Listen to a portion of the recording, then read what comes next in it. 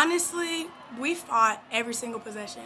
I don't think there was a single possession that Rice took off. We dove on every loose ball. We fought for every rebound.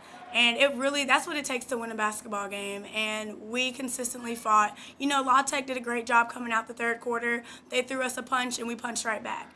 And so I think that's what I can be the most proud of this team is just how hard we fought for 40 minutes. So it's just so much fun to see that and see how hard these girls worked for this win.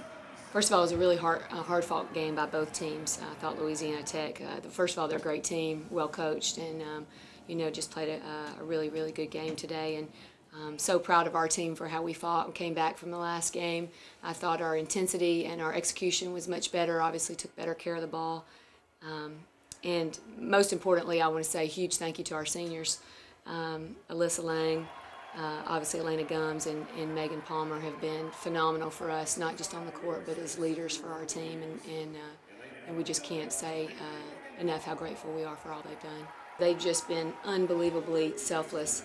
Uh, one of our core values is servanthood, and I would say uh, all three of those players probably uh, represent that better than any any any kids I've ever been around. They they do anything um, that they can for the team, and they've been fantastic. So to get a win for them means a lot.